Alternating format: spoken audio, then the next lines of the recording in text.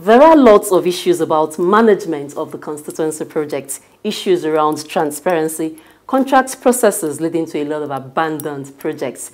These and many more will be touching on the program today. And on that note, I welcome you to Know Your Representative, the program that bridges the visible gap between lawmakers and their constituents. I am Maria Olashende, but first, let's meet my guest, Honorable Jimo Olushola Ojugbele.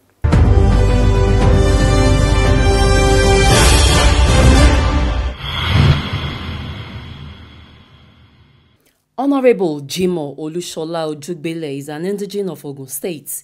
He was born in the 60s and is from Igbesa town. He attended Malay Comprehensive High School, Igbesha, where he obtained his West Africa School certificate in 1982, after which he proceeded to the Lagos State University where he obtained a bachelor's degree in political science. Member House of Representatives 2003 to 2007, Chairman Ogun State House of Assembly Service Commission 2012 to 2015. In 2015, he contested for and won election for the seat of House of Representatives under the All Progressives Congress Party APC to represent Ado-Odo-Ota Federal Constituency. In 2019, because of his hard work and tenacity, his constituents re-elected him to represent them again. Honorable Jimo Ojugbele is a third-term member of the House of Representatives and is the Vice Chairman House Committee on Ports and Harbour, and he belongs to the following committee: Petroleum and Downstream, Capital Markets and Institutes, Drugs and Narcotics, Finance, Interior, FCT, Aviation, Constituency Outreach, FEMA, Agric and Colleges, Population, and Sports. Ojugbele has received lots of awards, but to mention a few. Icon of Societal Development Award 2017, Recognition of Growing Political Profile and Leadership Qualities 2013. He also received an award of excellence from the Olota of Ota in Ogun State, Professor Adeyemi Obalanlege. Honorable Jimo Ojugbele, popularly known as Mr. Project, is a proud member of the All Progressives Congress and is happily married with children. A tanker conveying premium motor spirit, PMS, from Lagos Depot to Ogun State fell off the highway.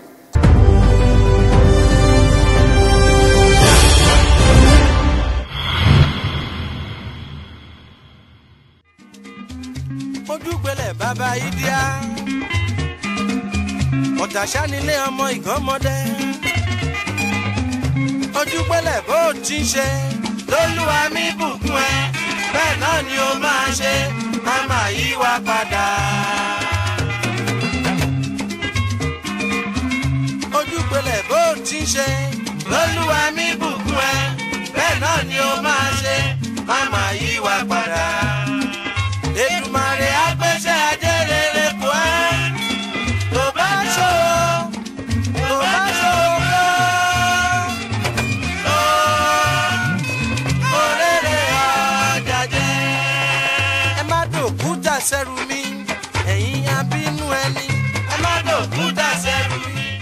The people of Ado-Odo-Ota local government has described Honorable Jimo Olushola Ojugbele as a representative with milk of human kindness embedded in him because he's well known for his philanthropy, gestures, and community services. He has always emphasized that the welfare of his people is paramount.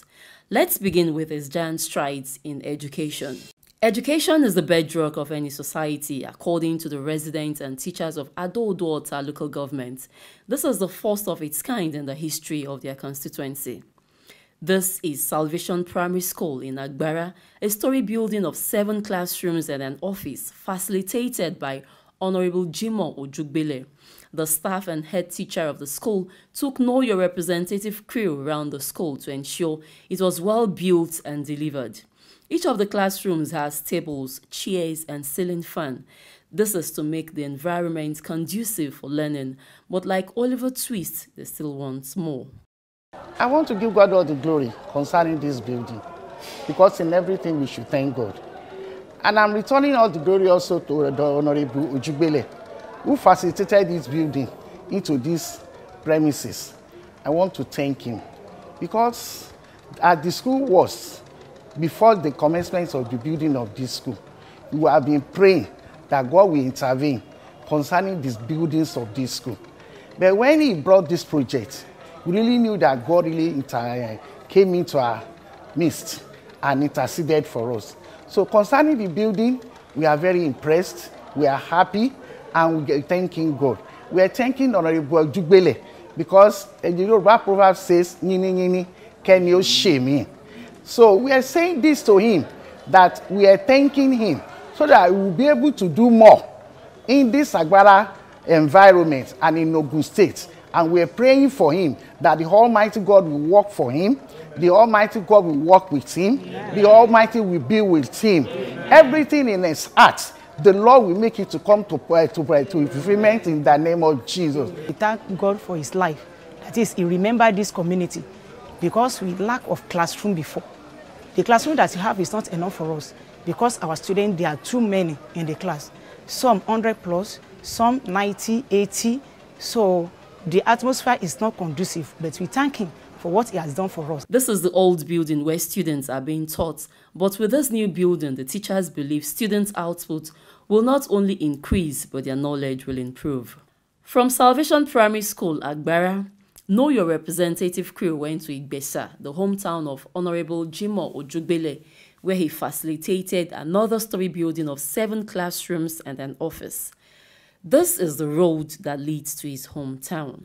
ikú lèmi ṣe iṣẹ́ rí ìlú wa àti bí ọdún méjì sí mẹ́ta tí gbala gbé wa yìí ikú oríṣiríṣi lèmèrè lèmèrè líkúre làmírí lèmi ṣe sí ìlú Ìgbẹ̀sà yìí kódà omi ṣe dáadáa sí ìlú wa gan lẹ́gbọ́n yìí gbogbo kù lèmi ṣe sí ìlú mọ́ títí kan léèwé transformer. Kò sí wàá máa béèrè lọ́wọ́ ẹ̀ lílù lè ṣe kú wa yìí. Omi ṣe oríṣiríṣi lè dá lẹ́rìí ìlú Ìgbẹ̀sà. Mo adẹ̀kú àsìkò yìí dúpẹ́ lọ́wọ́ ẹ dáadáa pé Ọlọ́run á máa gbé lọ́wọ́ sókè. Is Honorable Jugbele, who has brought this kind of laudable, laudable project to this place. Actually, I have been in this place for quite some years, and uh, when this project started, I didn't even know that something very big and excellent like this that is coming here. So when I discovered that it's, it's story building, you know, it makes this place look more or less like a model school. And when you have this kind of place, this kind of uh, building in a place like this, you know, the facilitator ought to be highly commended. lẹ́ẹ̀ máa bá ṣe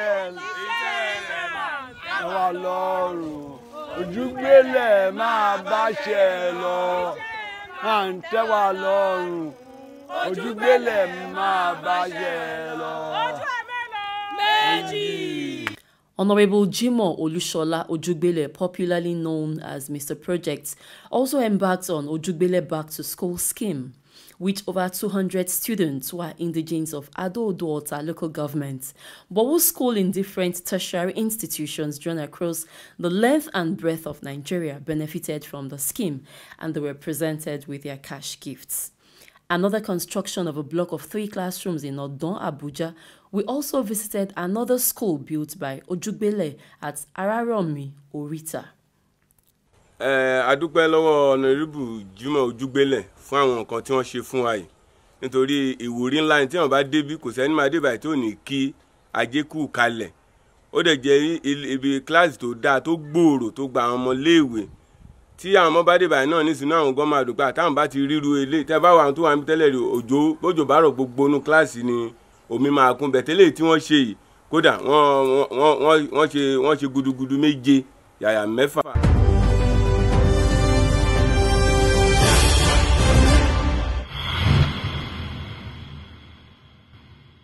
The essence of transformers in a community can never be overemphasized. Here's a transformer Transformer Bus Stop, Songwater. Another three 500 kVA transformers across his constituency. The beneficial communities are Fadino Ewupe Community in Ottawa 2, Otun Community in Ottawa 1, Onibuku Community in Iju Ward, Abebi Community, Osi Community, and all communities in Ado Oduota. In fact honourable Jimoh Ojúgbélẹ̀ wọ́n ṣe ohun tó dùn mọ́ wa ní àgbègbè inú wa dùn gan-an. A dúpẹ́ lọ́wọ́ ọlọ́run fún oore ńlá tí wọ́n ṣe fún àtòrí àti pòǹgbẹ. Transformer yìí ti pẹ́ gan-an. Ọ̀pọ̀lọpọ̀ nǹkan ni ló ti bàjẹ́ ládùúgbò yìí. Tó yẹ pé tí náà wá bá dé báyìí ó máa drop. Tó bá dé báyìí ó máa drop. Ó ti bà fíríjì ó ti bà àwọn àìmọ- àìmọye iléeṣẹ́ jẹ́ lọ́wọ́ wa fún àìlèrí náà lò kó dé kó kọ̀ inú wa dùn gan lọ́jọ́ tó náà ń gbé transformer yìí bọ̀ èrò pọ̀ ń bí gan agbo nílùú agbéléré inú wa dẹ̀ dùn tayọ̀tayọ̀ la fi pàdé àwọn tó kó wá. Ó jẹ́ ohun tó dùn mọ́ wa gidigidi gan ọ̀nà ibi Jimoh Ojúgbélẹ̀ wọ́n á máa lọ rí wọ́n á máa bọ̀ rí. Òkèkè lẹ́mú rú sí òkèkè náà máa lọ. a dúpẹ́ lọ́wọ́ ọ̀nàrẹ́bù ojúgbélẹ̀ Jimoh Ojúgbélẹ̀ pẹ̀lú nǹkan tó ṣe fún wa. Tó bá jẹ́ pé a bá ń rírú àwọn èèyàn báyìí nínú àwọn olóṣèlú ìwà tó bá ń ṣerú nǹkan báyìí àdúgbò wa máa dá síwájú àti síwájú sí i. In fact nǹkan tó ṣe fún wa yìí ó jẹ́ nǹkan wúrí fún wa ní community. Ó jẹ́ nǹkan tó dùn mọ́ wa nú jù tó pọ̀ gan pápá náà. A dẹ̀ lè gbàgbé ẹ̀ láéláé. A bẹ lọ́hùn fún wípé àtò iwájú iwájú lọ̀pọ̀ ibi tí a máa rí sí. Ó máa ní lọ síwájú sí. A fẹ́ fi àsìkò yìí dúpẹ́ lọ́pọ̀lọpọ̀ lọ́wọ́ ọ̀nàdìbò wa ọ̀nàdìbò Jimoh Ojúgbélẹ̀ tó ń ṣojú wa ní Àbújá. A dúpẹ́ lọ́pọ̀lọpọ̀ lọ́wọ́ wọn. Iṣẹ́ wọn kò ní dìbàjẹ́. Lágbára Ọlọ́run òkè òkè lẹ́múrú sí. Ibi gíga gíga gíga tó ju ibi tó wà yẹn lọ Ọlọ́run á gbé wọn síbẹ̀. I'm just thanking him on behalf of the whole community, the king, everybody in the community. God will continue to bless him because we all cherished this project. So everybody comes here to come and fetch water in the morning, even in the afternoon. So I thank him very, very, very much. God will bless him. omi kànga là ń pọn o à ń pọn mi kànga dẹ̀ ń pọn mi odò lẹ̀. Odò ojúpà odò ògúnfi odò ìjọmu òun là ń pọn. Ṣùgbọ́n nígbà wọ́n ti fún wa lélẹ́yìí yọ̀tọ̀ o. Yọ̀tọ̀ in fact a gbádùn omi tí ọ̀nàrẹ́bù ojúgbélẹ̀ tó gbé wá fún wa. A gbádùn ẹ̀ lọ́pọ̀lọpọ̀. Nítorí pé kò ní tèstì tí ò dáa ó wà pa. A sì ń pọn gbogbo ọkàn tó ń lò pátápátá ló ń súre fún. a wà ní ọjà bíbá ń pọn mi a dúpẹ́ lọ yín lọ́pọ̀lọpọ̀ pẹ̀lú omi tí ẹ ṣe fún wa. À ń pọ́n lọ́tún lọ́sì ọmọdé ń pọ́n àgbà ń pọ́n. A dẹ̀ ń ṣàdúrà fún yín pé ẹ ṣe ẹ kú dìde ẹ kú gbìyànjú. Torí omi yẹn ó tiẹ̀ pọ̀ ní bíbá yìí ṣùgbọ́n ní wákàtí tẹ́ ṣe fún wa yìí à ń lò à ń gbádùn ẹ̀. Mi jẹ́ oníṣẹ́ ọwọ́. Tèmi ti ń lò dáadáa nítorí hairdresser ni mí tí mò ń rí lò dáadáa. Know Your Representative crew also paid an unscheduled visit to the Olota Ofota, Professor Adeyemi Obalanlege, to hear his view on Honorable Jimoh Ojugbele's performance. I've known Ojugbele for Jimoh Ojugbele for over 30 years. and uh, he's a thorough bred politician. And uh, Ojugbele, as a federal lawmaker representing Ota federal constituency, uh, he's been doing a wonderful job. He's a three-term uh, federal lawmaker, and he has attracted uh, so many projects to Ota and uh, Igbesa, and uh, you know I can't count it. So many transformers has been donated to different communities. He has empowered so many constituents, and he has trained a lot of them. He has trained them in area of uh, soap making, uh, tailoring, and other trades. And he has not just been training them. You know, he's been topping it up with uh, the equipment that is needed for these uh, constituents to carry out uh, their trade. And uh, I must commend him. But I believe there is still room for improvement. Uh, he can do better, but he's been doing wonderfully well. As promised during his campaign tour across the local governments, Honorable Jimoh Ojugbele recently delivered a three-in-one program tagged Back to School, Grants for Widows and Women, and Fertilizer for Farmers. In the Widow and Women's Financial Grants, more than 100 women drawn from all the 16 wards which constitute Ado-Odo-Ota local government were given the sum of 50,000 naira each as SME startup capital, with the assurance that their businesses would further be reimbursed if they properly channel the money. In the third tier of the empowerment program, Honorable Ojugbile gave well over 200 farmers across the local government bags of NPK fertilizer to enable them boost productivity of their farm produce. He also empowered tens of constituents, each with 410 juvenile fishes, two GP pond tanks, two bags of fish feeds, and cash gifts. Also, poultry farmers were empowered with tools, materials, and birds. The fishery sector had its turn at Atonota, as beneficiaries were equally empowered with working materials including juvenile fishes, feeds, fishing bowls, drugs, and many other items to augment their fishing business already provided by Honorable Jimo Ojugbile's foundation. èmi gẹ́gẹ́ bí ẹnìkan ní december ten wọ́n fún mi empowerment poultry ní local government mo lọ ṣe. Mo ti rẹ́ díẹ̀ mo ti ń sin ẹdìyẹ báyìí. So olúṣọlá náà ló ṣe ojúgbélẹ̀ wọ́n fún wa certificate o. Mo tún yá pẹ̀lú ẹdìyẹ mi. Ẹdìyẹ tààtì lówó yẹn ká. Mo rà mo dẹ̀ ti ń sìn lọ́wọ́lọ́wọ́.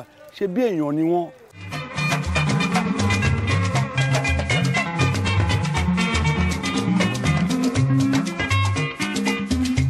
alówádìílé rojúgbélé ojúgbélé bàbá ìdíá ọ̀tàṣá nílé ọmọ ìgànmọ́dé ojúgbélé bó ti ń ṣe lólúwa mi bùkún ẹ bẹ́ẹ̀ náà ni ó máa ṣe má máa yí wa padà. ojúgbélé bó ti ń ṣe lólúwa mi bùkún ẹ bẹ́ẹ̀ náà ni ó máa ṣe má máa yí wa padà.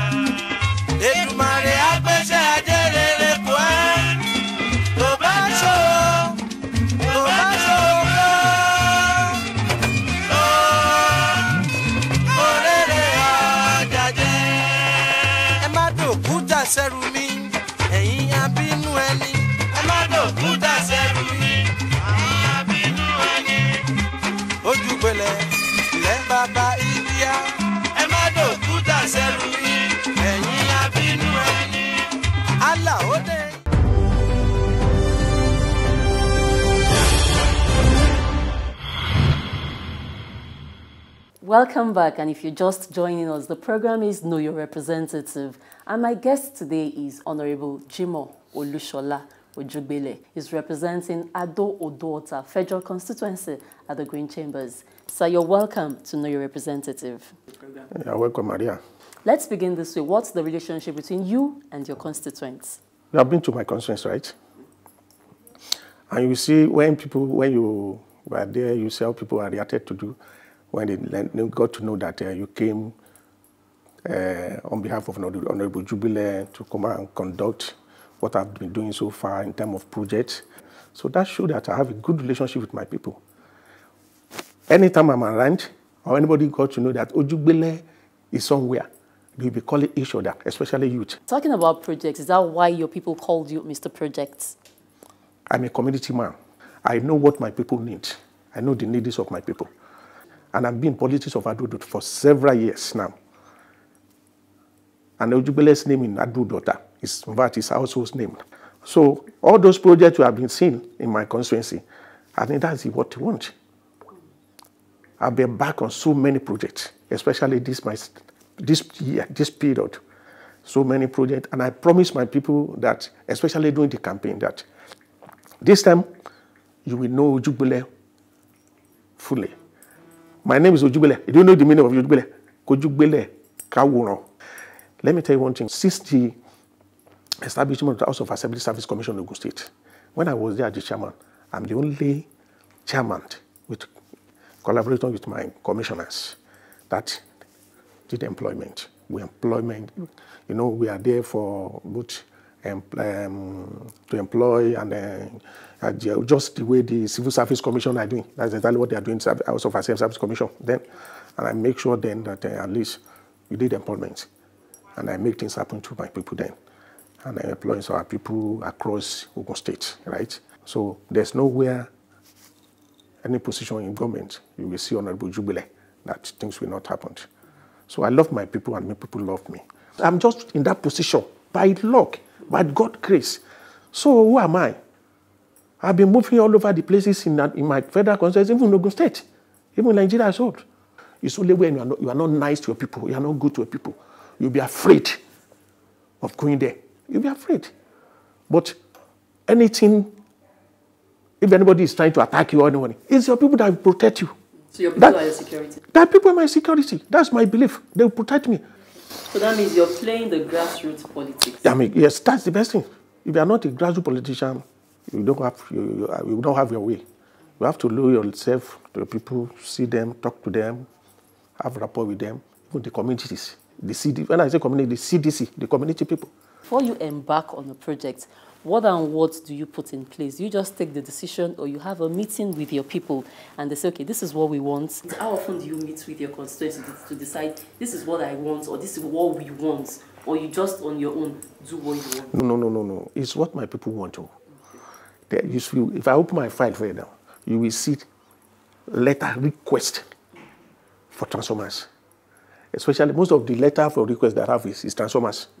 Majority of them are transformers. They call Mr. Project. Before Mr. Project, I'm Mr. Uh, Honorable Transformer. Honorable Transformer. Because uh, go to Ado local government today. I think you have been there yourself. I've been giving them, provide them transformers, every community. Also, by the time you give a community a transformer, it will go a long way to assist them. You know what importance of light now? Apart from the light we are using in our house, you know, some people, the artisans, art- artisan people are there. They need light to work. Some people need light to work. Even our uh, women, who- those who are selling coke or uh, selling soft drinks, all sort of things in the various uh, places, I think they need uh, light as well. So the light is very, very important.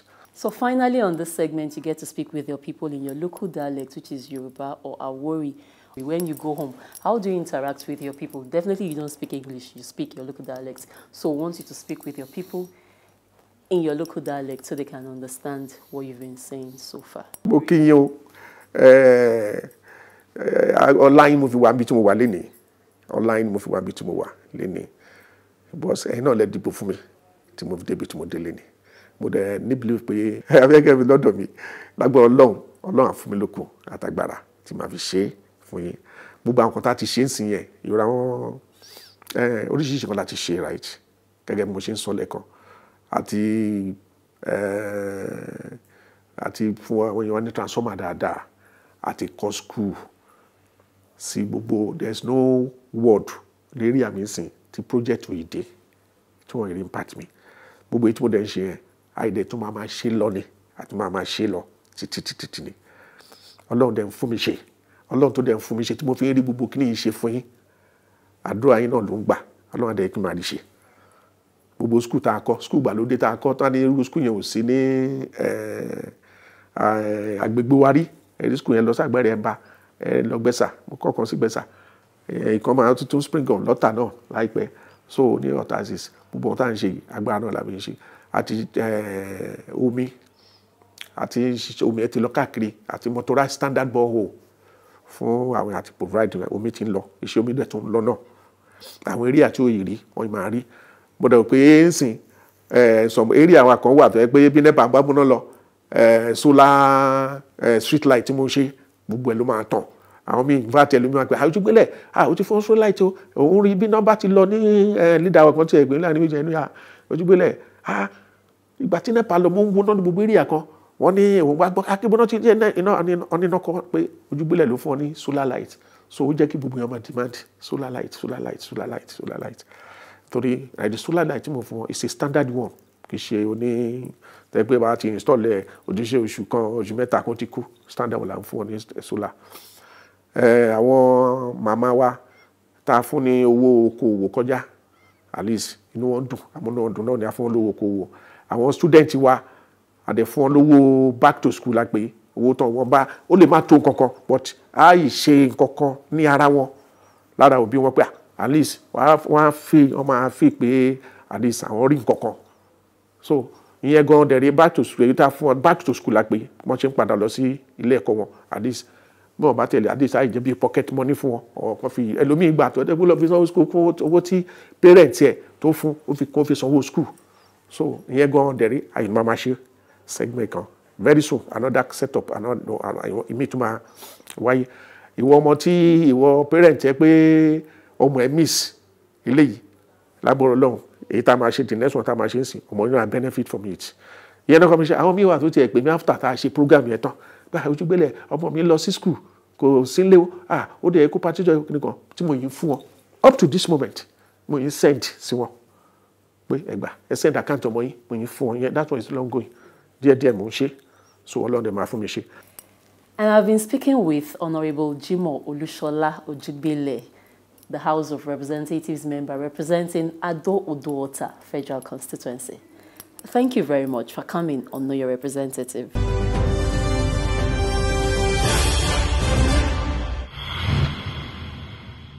And that's our package for this week. Join me same time next week as I bring you another lawmaker that has impacted positively in the lives of his constituents.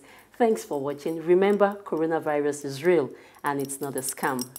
I am Maria Olashende. Stay safe.